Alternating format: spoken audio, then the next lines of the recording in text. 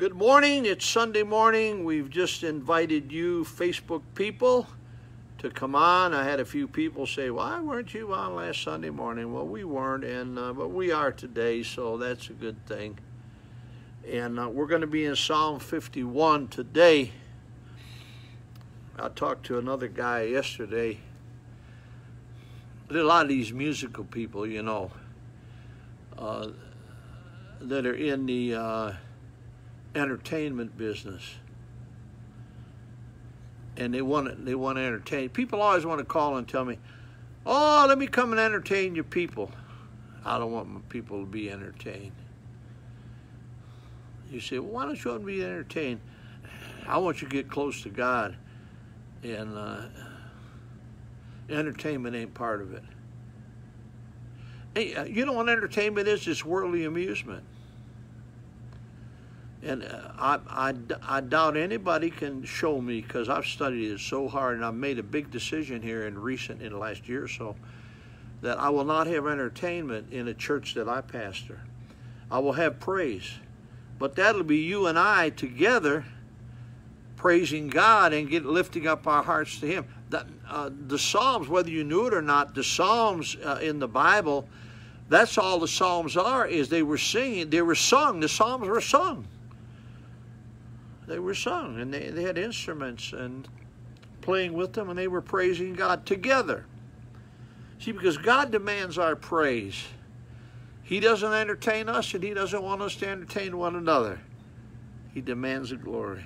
So uh, I would just sing a chorus.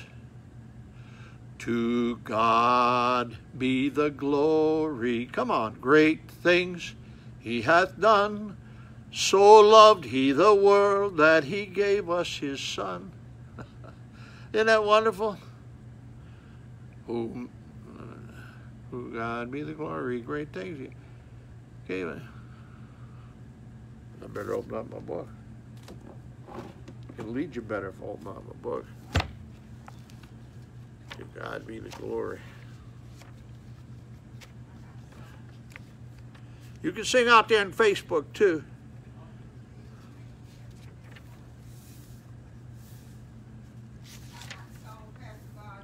Huh? What page is it? I'll tell you the page if you want to see.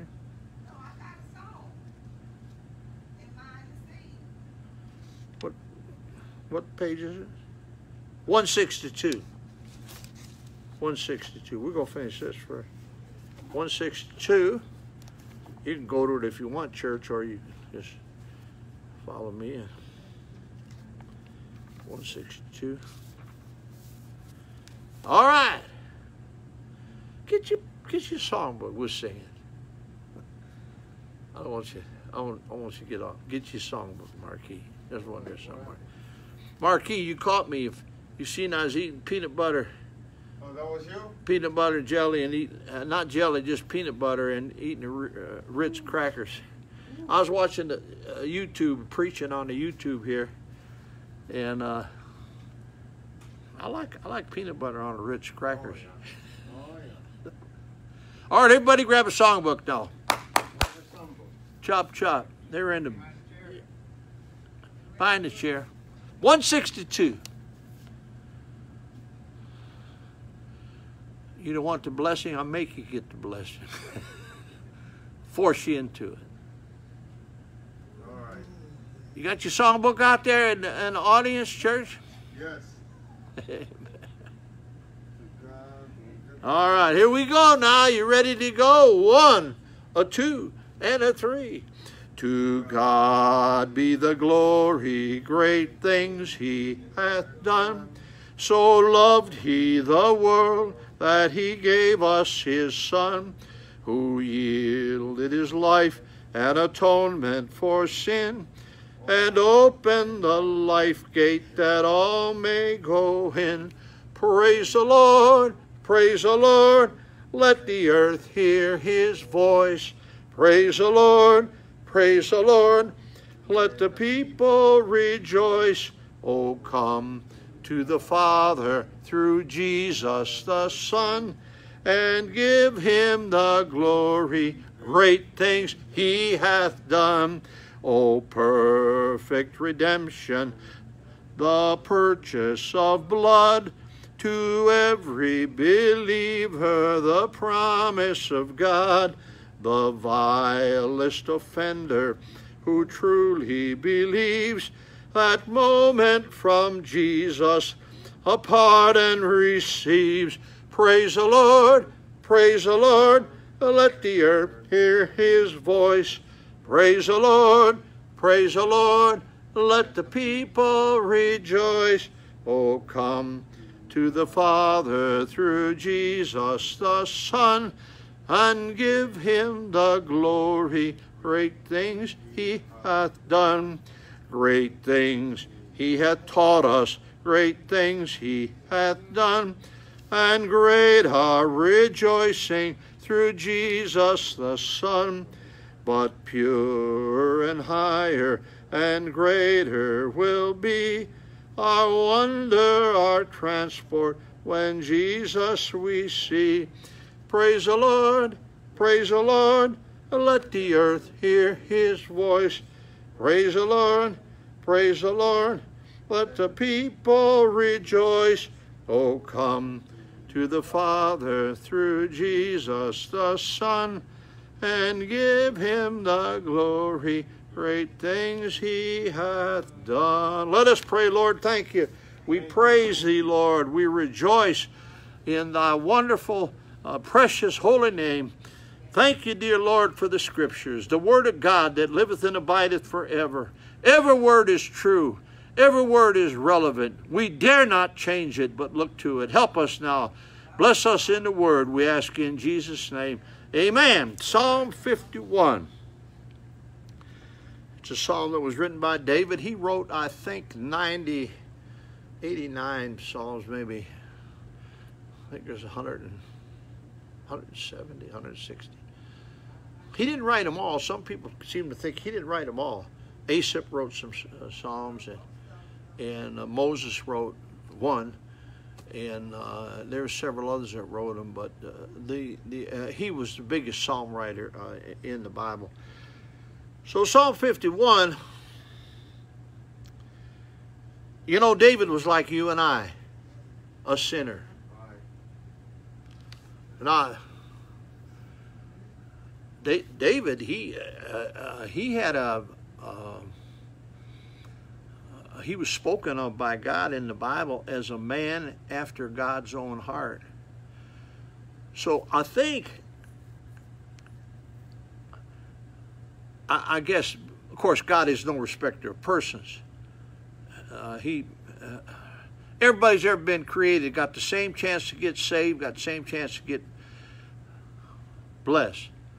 Like my preacher George Clark says. Uh, if we will, he will. But David was a guy, a man after God's own heart, so he, he blessed him. When he was a teenage boy, uh, uh, he, um, um, he, he beat the mightiest warrior in the world, cut his head off with the guy's own sword. Saul, who should have been fighting him, fighting him, Saul was head and shoulders above all of his people, he was a king. But he was nothing like Goliath. Goliath was the mightiest warrior in the world. And they just sat back and and uh, he come out there and roared with that big voice, big powerful man. Let your warrior come out here to fight me. Saul was scared. Hey, you know what? You know what David was doing? You know what? Um, uh, uh, you know what David's uh, livelihood was uh, before he became king. What was he? He's a shepherd boy. Yeah. He's just a shepherd boy. I mean, that's a that's a very low class job. Of my grand my grandson, bless his heart, I love him to death. He's always trying to milk me for money, you know.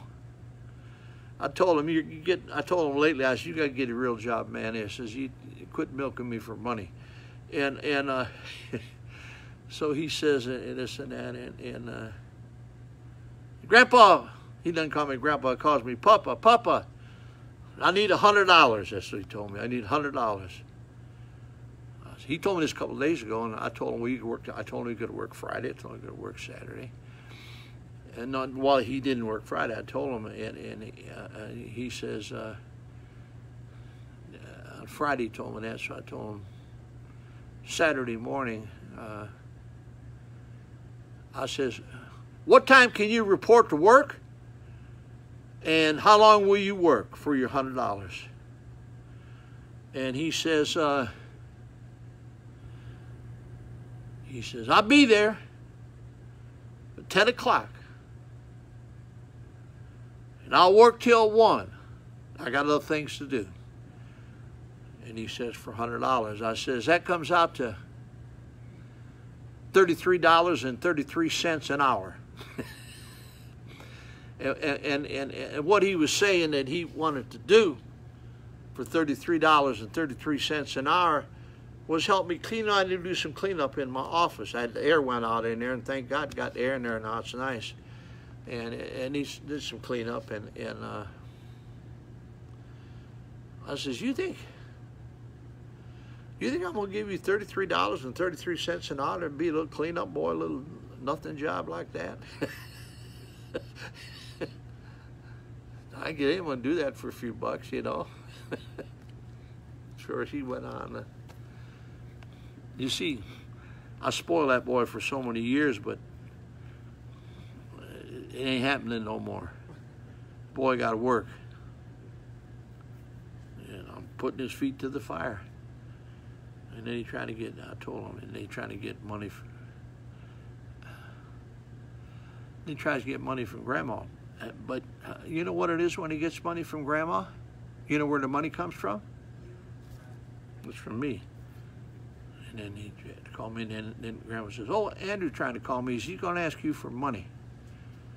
And I said, I ain't giving him a penny. And if you do, don't come to me for the money. You ain't getting it from me. I'm just telling you that. That's the way it is. How'd I get on my grandson? Oh, I, I got, I was talking about David and Goliath. Let's get back to the, who cares? You know, like, he's, I love him to death. But anyway, um, David, uh, he was coming down there to bring some uh, uh, some cheese and bread to his big brothers. Big brother. Uh, and he get down there and he got down there and, and he said, what's the problem? And then he heard this giant and the giant saying, cursing God. Well, what's the matter with you? He told his big brother. What's the matter with you? You let him curse God, our God, my God. Maybe it wasn't his big brother's God, I don't know, but it is David's God. And then the word got to Saul, the king, who should have been doing the fighting. He's head and shoulders above everybody and a man of war. And uh, he says, bring that kid over here by me. He brought him over. And, uh, oh, they told him this too before he brought him over. They said, he's saying he'll kill him. We're talking about that little kid. He'll kill him, he's going to kill him. He said he says he killed the bear and killed the lion with his bare hands.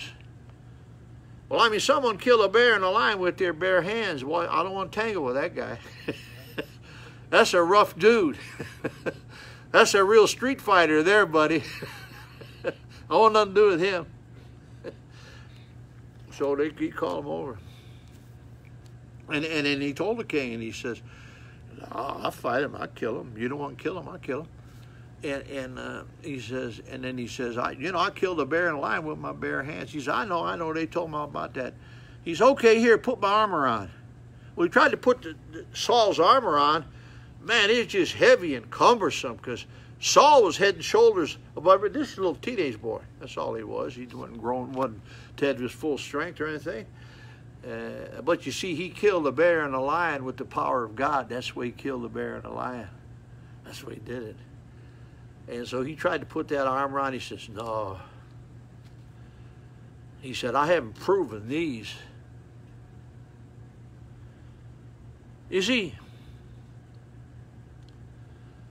I've proven God over a long time. Over 50 years, I've been saved and serving God. And I'm proving Him, and I know what works. I know what works. I've proven God. I got people all the time come up with ideas. Y'all do this, y'all do that. I says, no, I'm going to do the way God, God's proved me how to do things. And he says, well, you need to try this. I says, if God would tell me I would, but he ain't told me yet. I, I, I, know how to, I know how to get things from God, and I've proven him over the years. And so he said, these weapons haven't been proven. And the, you, you know, you know, a lot of Christians get into shenanigans a lot of preachers that were great preachers just by the power of God. Their, their, their, their power of God started, this has been all through history. The power of God started slipping away from that preacher, and he didn't, wasn't getting it, and the, and the audience was falling out. He losing the power of God, so he started going to gimmicks, started going to special events and music, and and always had to have an, an, another big deal for the teenagers this next week or something and and uh, and he didn't. But but David had proven had proven himself uh, by the power of God and and God. Uh, uh oh, I love that uh, Isaiah 40. You get as old as I am, you'll love it too. It says. Uh, says, you mount up on wings of eagles, you run and not be weary and you walk in not faint, Isaiah 40. And it says, the young men will fall out and walking. The old man will run. Woohoo! Here's an old man running. this old man can run. I told my wife, she, she's on to me. She knows my foolishness, you know. And and when uh, what is it? What was I supposed to do yesterday?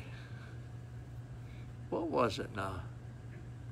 It, was a small item, it wasn't much. And, and I says, I didn't, uh, I said, I had that on my list, honey, and it was a small thing. It wasn't hardly nothing, you know. She said, yeah, yeah, you and your list. And uh, you never get to it. I said, well, I'm serious. I, I really, I, I, this is real honest. I tell her honestly, too, but I don't think she believed me. I said, I really, I wanted to do that as a small thing. And I, I, I figured something out. I did it a thousand times. And any any ever work with a um, uh, a grinder in your kitchen and you grind up the food and then you run the water and it goes down and put the hot water. You ever do? You know what I'm talking about? That thing. Well, they get they get clogged up, and what you got to do is there's a tool, and you got to put the, it something stuck in there, and you got to get the tool underneath it, and then get it in the groove and go like that. And, and it, it's, you can feel it's tight, breaks it loose, boom, it goes. I've done it a lot of times. I've been trying to do it for, for four days I was trying to do it. I took up to 45 minutes, and I used to always just be able to reach down there and, and get it, but I mean, uh, and I just, oh, the Lord's teaching me patience, and you just don't even have to get down, He takes you patience. So then, night before last, I worked on it for 45 minutes, and I went and I was praying to read my Bible, uh, and the Lord told me, put your phone under there and take a picture of it. It'll be a piece of cake. I told my wife, hey, honey, I got it. I said, I'm going to take a picture of it. Well, I was supposed to do that yesterday, but I forgot. so that was late, late last night, and I wasn't about to get it. I was tired. I, I got my I got a I got the I got a pool of Bethesda in my backyard. It's my swimming pool. I call it the pool of Bethesda. I asked a teenager what the the problem with these young people, they don't know the Bible at all. And I says, you know what the pool of Bethesda is? Yeah, that's where Bathsheba used to bathe. I said, oh, shut up. You, you don't know nothing about the Bible. I says, you need to read the Bible. Well, I don't want to embarrass you. Maybe you don't know what it was. But the pool of Bethesda, that was where the crippled people and the sick people, they, they, they, they, they hung around that pool. And this guy was crippled for 37 years. And God had sent an angel down. And when the angel come down, the water would move and the first one to jump in the pool be healed. And that pool in my backyard, that's my healer. Because it's, it's low impact energy, and, and I, my knees I can work on, and my elbows, and all of that. I, I, I, do all that. So I got my, my pool of Bethesda. So uh, for, for a while, I couldn't swim. But I've been able to swim now the last few days, but I've been doing too much. And so then you, I mean, then you whacked out at night. I was tired, so I was about to go take a picture of that thing last night. But then I told her, and and then, uh, and and and then I did this. Did, did did you ever know? Did you ever do this? I mean, I got it made now. You know why I got it made? Wherever I go or whoever I talk to, all I all I got to say is I can. I'm 80. I'm 80. I don't expect nothing. I play the victim card, you know. But you know what? I can get away with it in the store. I can get away with it anywhere I go, but I can't get away with my wife. I said, I'm 80. She's all shut up. she told me, you do what you want to do. she knows me, and that's true. but anyway, David, he, um, and me as 80 year old, why? Did you know? Did you know that Moses didn't start his ministry till he was 80? He's 80 when he started. He led 3 million of God's people, the Jewish race, out of Egypt. Yeah. Led them out of Egypt and, and uh, dragged their sorry carcasses around the wilderness for 40 years. he died at 120. so I don't know if I'm going to make that, but I know he was 80. I know I'm 80. But David went out and he, uh, he killed. He killed. A lot of people coming on the internet. Hi, internet. I'm glad you're all here. Um, uh, he cut. I, I seen a picture of this one time. I, I, never thought of it quite this way, but a lot of times you think of things, but I, I could never think of it like this was, like this picture. Uh, it showed David, a teenage boy, and and uh, uh, Goliath was laying on the ground. His body was laying on the ground with all his armor on and everything, and there was blood running out of his neck where his head used to be. and David had his foot on Goliath and was holding his his his head up like that with the blood dripping out of it. I mean, I I've seen a lot of stuff, and I've been through a lot of stuff uh, in my life before I was saved, actually. But that gave me pause to look at that picture. But that's actually what David did. He probably did. And uh, you know what them Philistines did? They turned tail and ran, buddy. this was their number one man. And uh, uh, of course, uh, Goliath, he told him, You got someone to beat me and you win. And boy, they did someone to get him, not, not only just beat him close, I mean, he beat him, took his head off. But this is David. And David was a man after God's own heart because he would do that. He could kill a lion because he trusted in God, but he also sinned like you and I. And many times I preach this and I go into the wickedness of David's sin, but I'm not going to do it today. Because David was just a wicked sinner like you and I.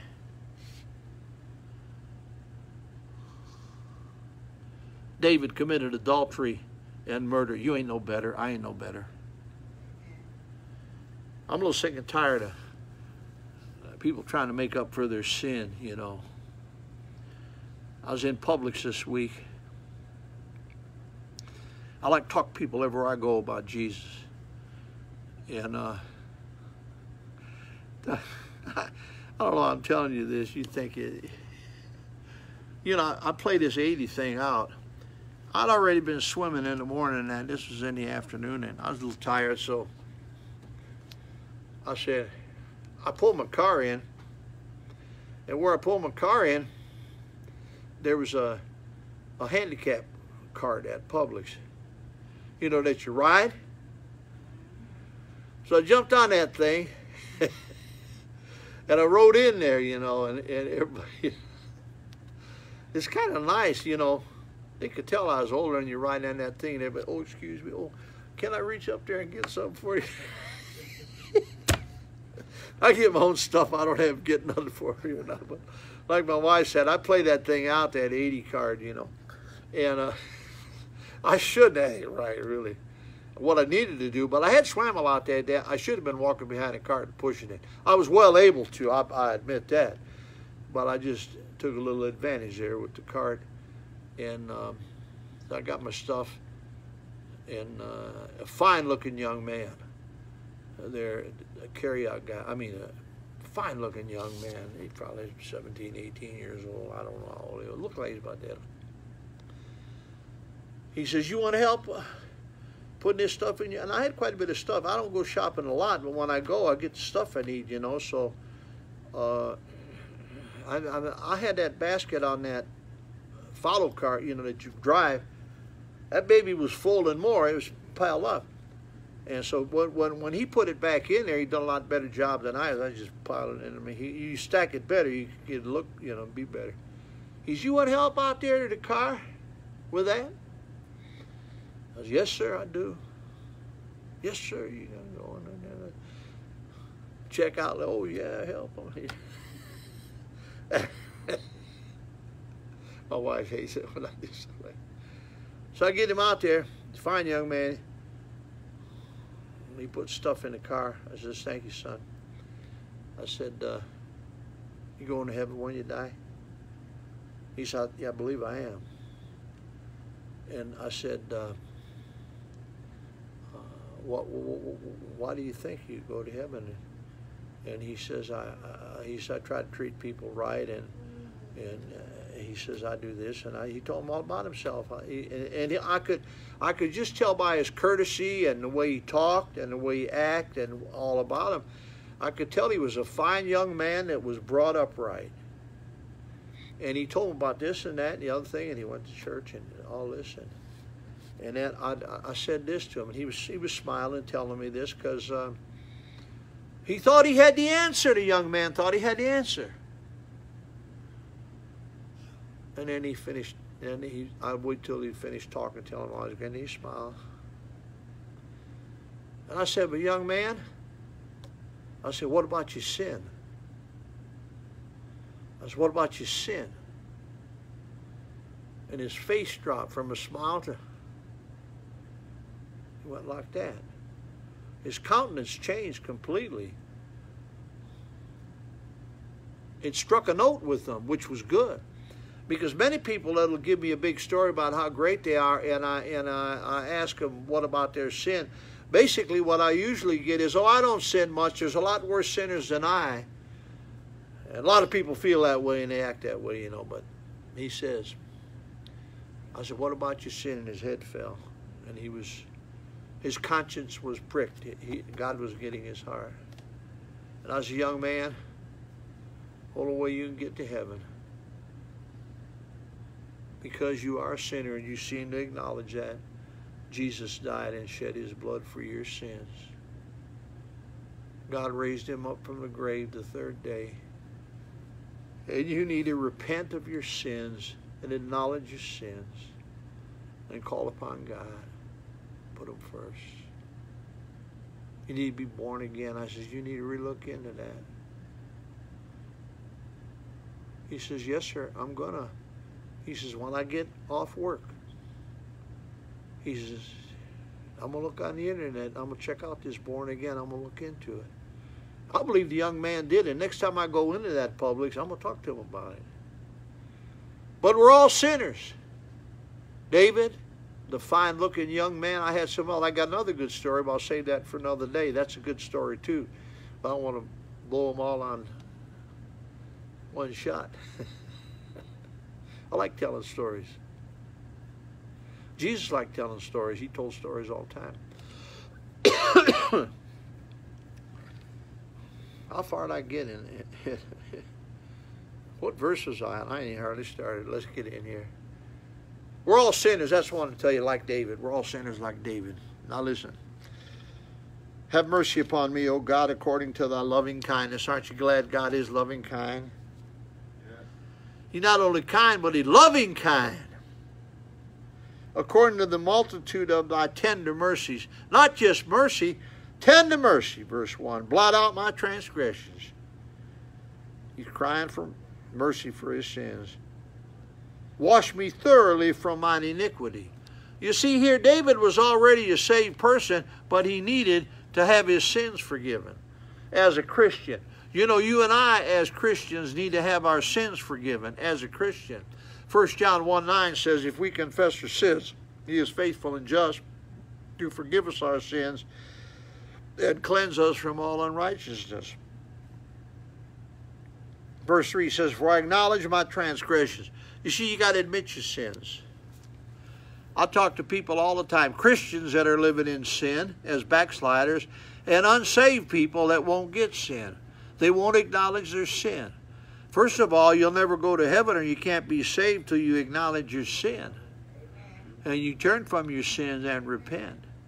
Many never do that. Consequently, they're going to end up in the fires of hell forever and ever.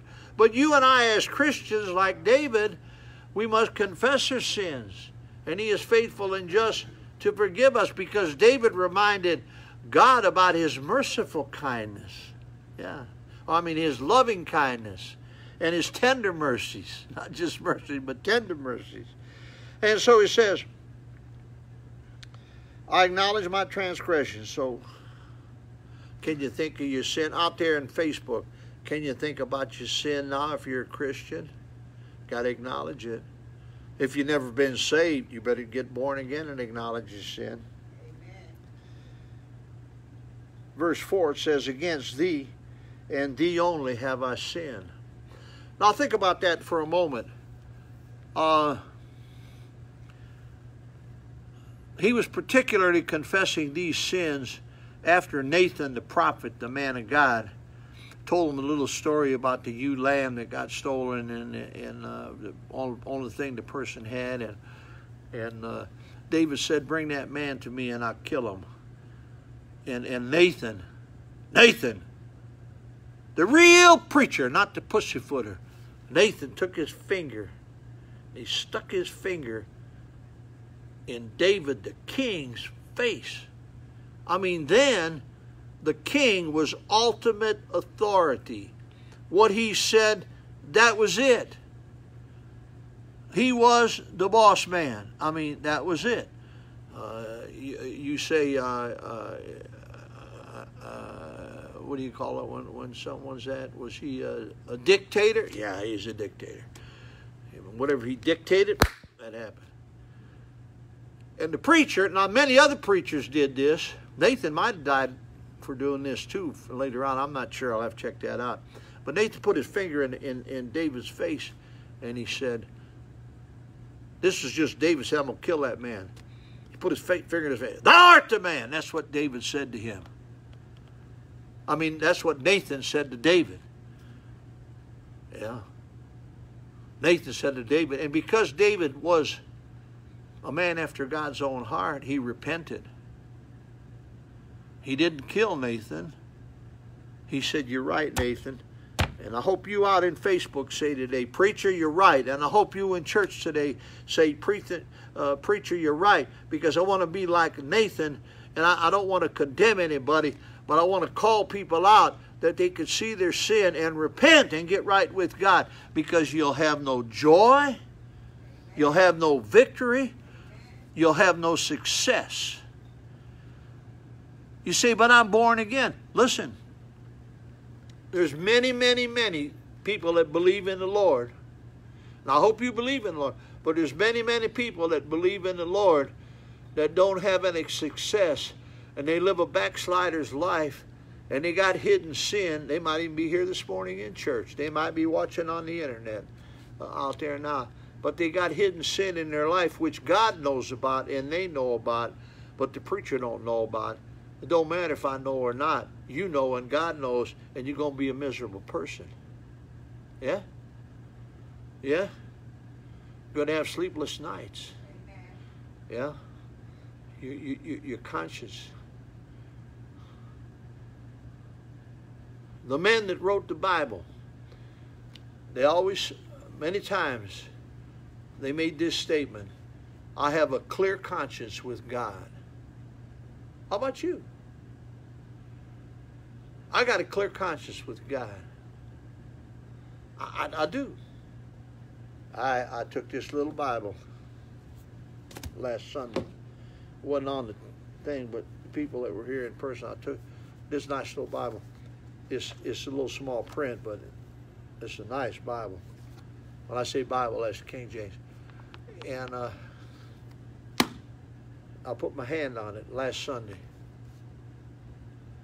Some of you were here, some of you weren't. And I says, I, I make the statement with, this, with my hand on this Bible that my heart's right with God. I got a clear conscience. I ain't hiding nothing from you. I ain't hiding nothing from my wife. I ain't hiding nothing from anybody because God knows anyway, but I got a clear conscience with God.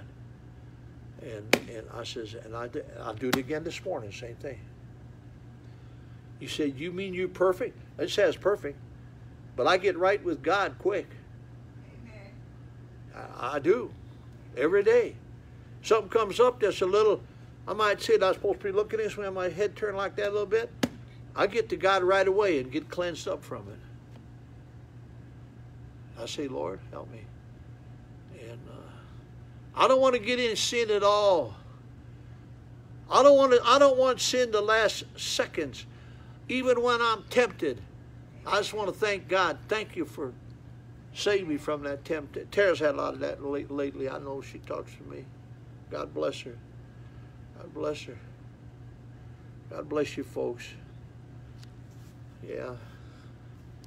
Stay close to your Bible. Have your heart in the position. Now, if you're a lost sinner going to hell, you can't. You don't even know what a Bible is. It don't mean nothing to you. To it, it, it just you don't care nothing about the Bible. You ain't saved. You get saved, it means something to you, and you have a home in heaven. Uh, so, let me get this down here. He said, Oh, I, I want to make a thought on that. I'm going to go a little longer than usual, but I hope you don't mind. Against thee and thee only have I sinned. Now, um, principally, sin is against God. But you know, uh, Marquis, the truth of the matter is, uh, you can pray like David, I can pray like David, but in reality, you, like me, we can sin against our mother. We can, we can sin against our mother. We can sin against our wife. We can sin against our children. We can sin against other people. So actually, when he, verse 4 is, against thee and thee only have I sinned, it means that the sin, the ultimate, the sin against God, that's the one that sends you to hell if you're not lost. And that's the one that keeps you miserable if you are saved because you haven't repented. Now, I can sin against you, I don't want to, and you can sin against me. But ultimately, the sin that we have of, of, of our effectiveness or what it means is because we've ultimately sinned against God. Do you, do you get that? We can sin against people. We shouldn't. And by the way, when you confess to God, and, and, and then uh, uh, uh you ought to go to those people that you've done wrong and sinned against on this earth and get right with them too. Amen. Yeah, see, this is this is getting about the short hairs, isn't it? I mean, this is this, you're getting down to business. I like to get down to business with the Bible. You ain't gonna come in here and get little sweet sugar stick sermon out of Psalms and where you make you feel so good and you go out and you go out the door and and, and say, Oh, it's such a wonderful sermon, Pastor Mark, I love that sermon. No. I want you to go out of here uh, I want you to go out of here feeling it's a wonderful sermon, but it's a wonderful sermon because it's got you to confess your sin and turn from it. That's why. People don't want to hear that today. That's why most Christians are backslidden and worldly. It's all about me. Nah.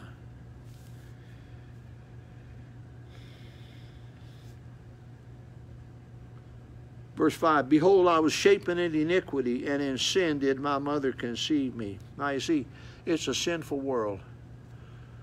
And we, we come out of the womb, and it ain't that long afterward when we willingly sin and do wrong. That's why Mama got to spank us. And I get to. you know how that is. Well, you've been through it. You guys been through it. And women are softer on the children, you know, and they don't want to. You know, you ain't Terry. You been, you know, you. but anyway, uh, I told them just like when with my grandchildren. Well, my children, I take care. I did business with my children. I mean, they went. If Mama says don't do, I do business with them. I mean, they they know. Uh, they they knew they knew the rules. They knew it was going. I won't even say that because you might think I'm a really bad person because I put on more monkey business with my children. If I told you that, you might never listen to me preach again. You really want to know what it is? I ain't gonna tell you.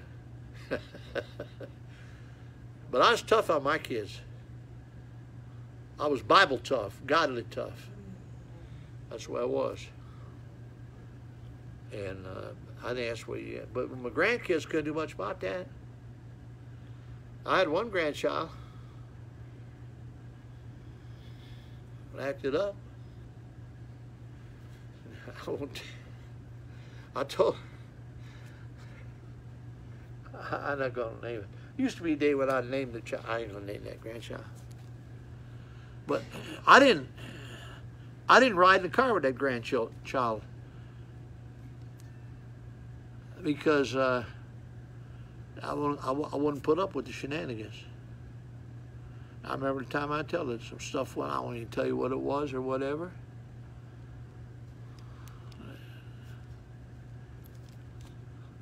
I told my daughter. Got two daughters. And try to figure out which one it was. I says, I won't ride in the car with this grandchild till you get him straightened out. and I didn't. But you know, sin is, is something that needs to be dealt with. And I was shapen in iniquity, and sin did my mother conceive me.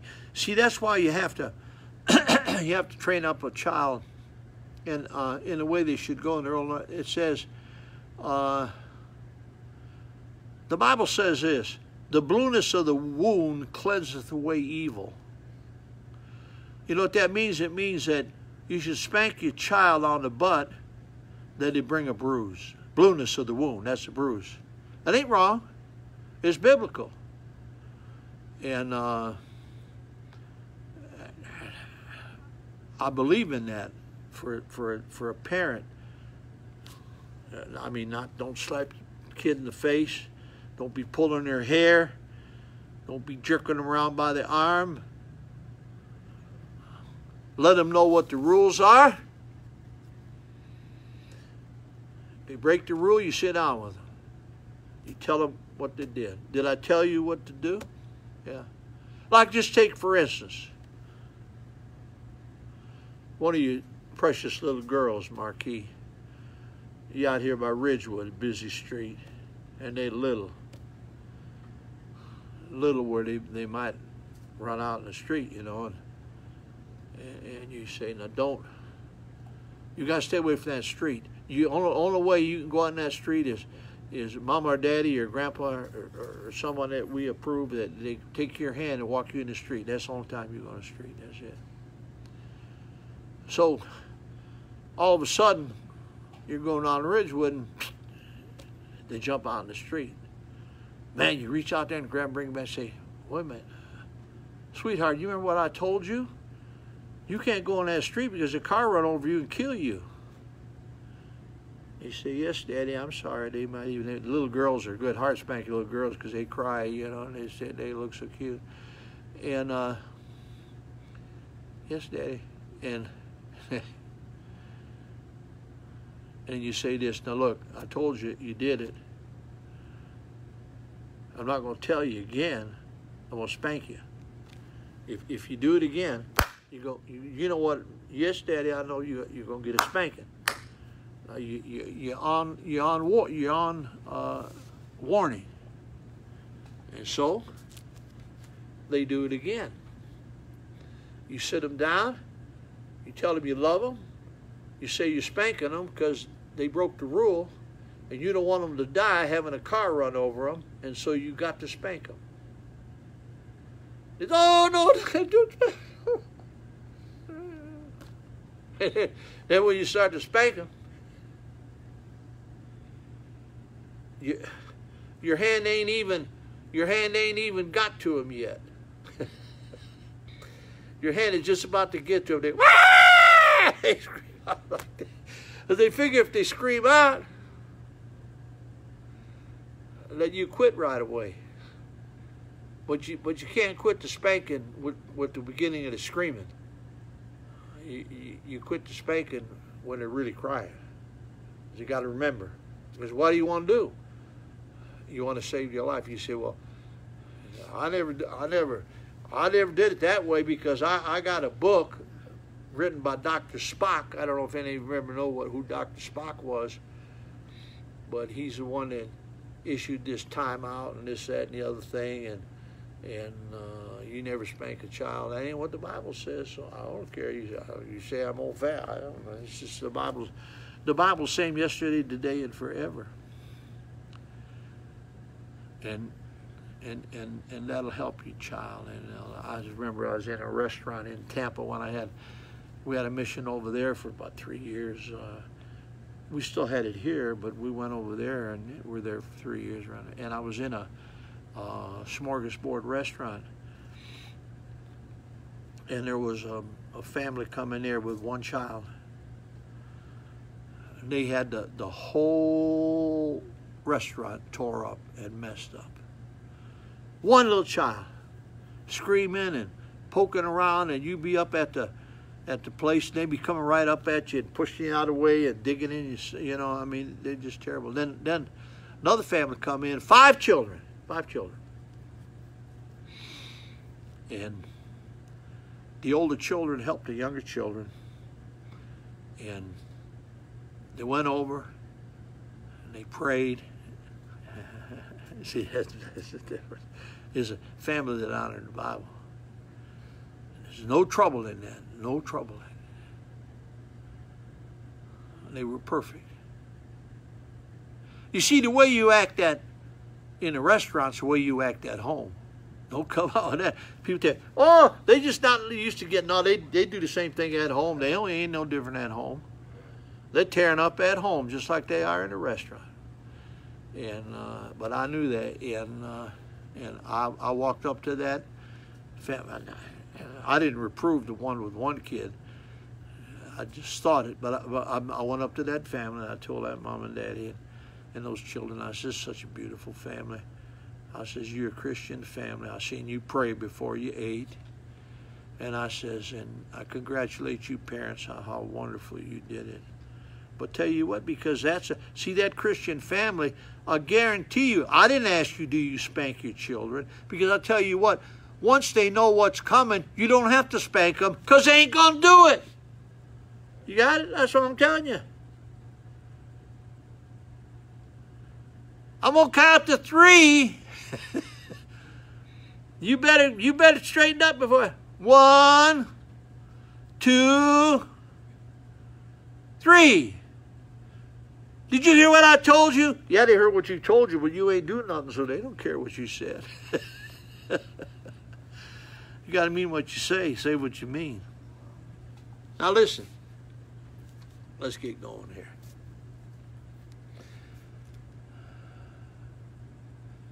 Purge me with hyssop, and I shall be clean. Wash me, and I shall be whiter than snow. Did you know what uh, this this was talking about a ceremonial ritual? Uh, well, not a ritual. It was a law. It was a ritual. But it, it was a law of of taking hyssop um, and uh, dipping it in blood for the cleansing of the lepers. You see, leprosy was always the picture of sin. And if, if, if you just if you just said, um, "Purge me with hyssop, and I shall be clean," you got to understand what hyssop was used for. It was used for the cleansing of the lepers, which was always the picture of sin, leprosy. God used that as a picture of sin all through the Bible, and it's even today. It's a picture of sin. Wash me, and I shall be whiter than snow. And again, referring back to this hyssop and the blood and leprosy. Make me to hear joy and gladness. Isn't that what you want? Joy. I want joy and gladness. You know what? I got it. I got it. I'm so I'm so joyful in God I can't believe it. Everything's okay. I don't know about you, but I know about me. Everything's okay. You can have it. Make me to hear joy and gladness that the bones which thou hast broken. Re- Why does God break our bones? Because we sin. Why does God have to beat us up? Because we sin. I'll tell you what. I, I want God to get my attention with just a little bitty switch. Just touch me and I get with it and repent. I don't want him to have to hit me in the head with a two before. Uh, or break my arm. Or cut my leg off. Or kill me. I'm going to repent.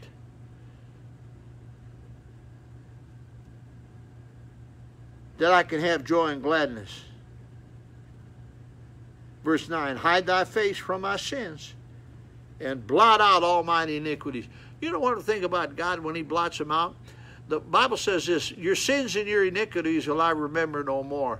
You know, we have a hard time uh, forgetting our sins and one other sinned against us. But, but God says He won't remember our sins anymore. Isn't that a good thing? Wow! Wow! I mean, we because we we're infinite and we have we're here with this body that we have we can't wipe them out of our imagination like God could, but we need to try to. Verse 10 Create in me a clean heart, O God, and renew a right spirit within me. We preached quite a while this morning. I ain't going to finish the whole thing. I'm going to stop on verse 10. Create in me a clean heart, O Lord, and renew a right spirit. Has you got a clean heart today? You got any, you got any, you got any anger and hatred in your in your in your heart today? You got any sin in your heart, some secret sins that that you know about, or maybe someone else knows about too that you're involved with in this sin? But uh, you, you you got that sin, and what you have to do is uh, claim this verse ten, like David did, and like you and I need to. Create in me a clean heart. That means that you can do like I said, like I can do today. And don't get, I'm serious about this. I ask God, is there anything at all that ain't right in my life? Please show me, I'll confess it. He hadn't shown me anything, so I can, I can put my hand on my Bible. Got the little one, I got big Bible, I'm reading that little Bible. I can put my hand on my Bible today, Facebook, church, and I can say, God, as far as I know, my heart's clean. And I mean that. I mean it. If it ain't, and I tell you what, that'll bring you joy and gladness. I've got joy and gladness. I've got the joy, joy, joy, joy down in my heart. Where? Down in my heart. Where? Down in my heart. I've got the joy, joy, joy, joy down in my heart. Down in my heart today. I've got the peace of God that passeth understanding. I don't know how them words go, but down in my heart. Down in my heart. Oh, glory to God. yeah. So praise God. Great Psalm 51. We have a great God. Make sure you're right with God. If you're a lost sinner, you don't know you're saved out in Facebook or here in church, repent and trust Christ today. If you know you're saved and you, and you got some sin in your life, claim 1 John 1 9. I read the whole book of 1 John every night before I go to bed. If we confess our sins, he is faithful and just to forgive us our sins, cleanse us from all unrighteousness. Isn't Jesus a wonderful Savior? Aren't you glad our Heavenly Father sent him down to die for you and I? God so loved the world, he gave his only begotten Son. Whosoever believeth in him should not perish, but have everlasting life. Let us pray. Thank you, Lord. Thank you, Lord. Thank you. Thank you, Lord. Praise you, Lord. We praise you. You know if you're saved or not. If you're not saved, pray this sinner's prayer with me. Have your sins forgiven. Dear Lord Jesus, dear Heavenly Father that sent you down, Lord Jesus, to shed your blood on Calvary's cross, rose from the grave the third day with all my heart, with all my being. I love you. I put you first. I know God sent His Son to this earth to save me. I put all my hope in you today. Turn from this wicked world, repent of my sins, and call upon you for salvation at this moment. Thank you, dear Lord, for saving me. Amen Amen. and amen.